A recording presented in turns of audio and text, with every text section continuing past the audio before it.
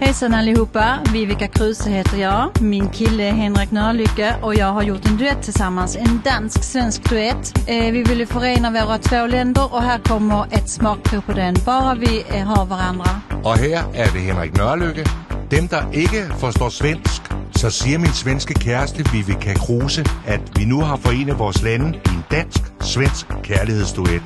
Och husk nu att hålla hinanden i hånden.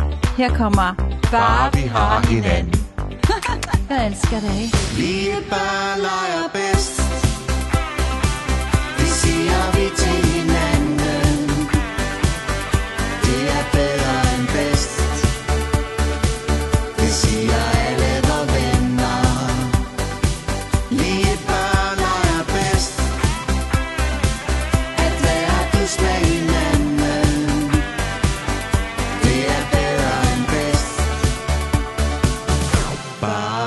Har hinanden Stream, download vores danske-svenske kærlighedsduet. Bare vi har hinanden. Ja, ja, skat. Bara vi har varandra.